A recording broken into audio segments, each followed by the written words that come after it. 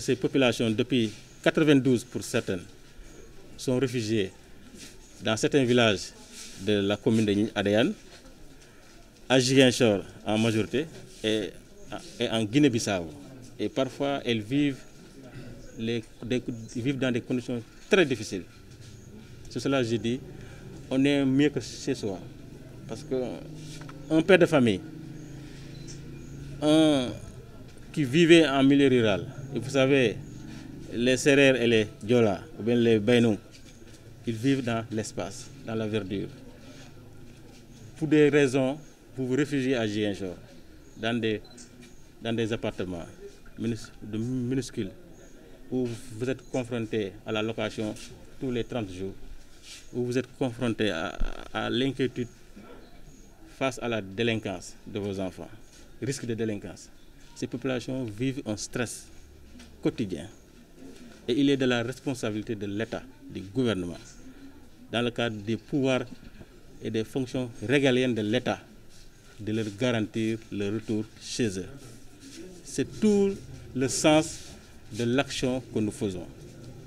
Et j'en appelle à nos frères de sang, parce que à travers nos ancêtres, Agen et Djambon, Diola et Serer, tout couleur, nous sommes du même sang.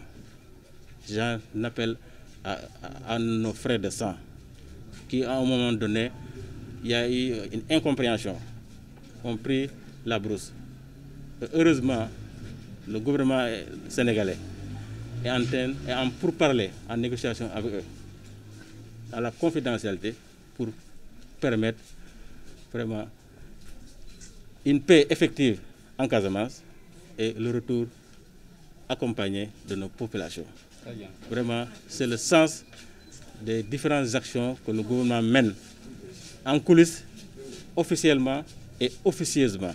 Et je demande à tous les acteurs, élus locaux, élus locaux partenaires au développement, partenaires bilatéraux, presse, d'accompagner ce processus.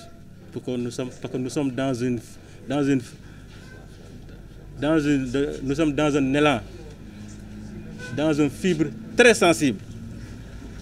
Une certaine exploitation pour nuire au succès de cela. Faisons preuve de, patriotisme, de patriotisme et de civisme pour qu'on puisse garantir le retour de ces populations, parce qu'ils ont droit à rentrer chez eux.